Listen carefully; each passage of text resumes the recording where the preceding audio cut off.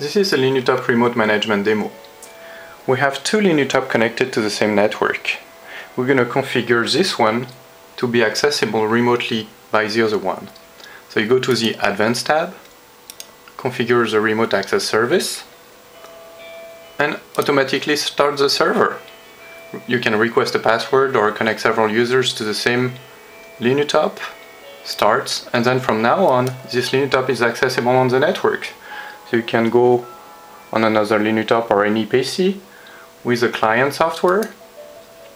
You just need the IP address of the other Linutop and then the protocol which is VNC in this case. Just connect and wow!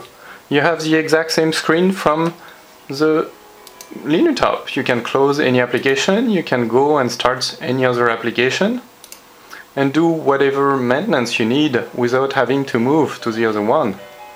So basically imagine what you can do. It can be at the other end of the internet.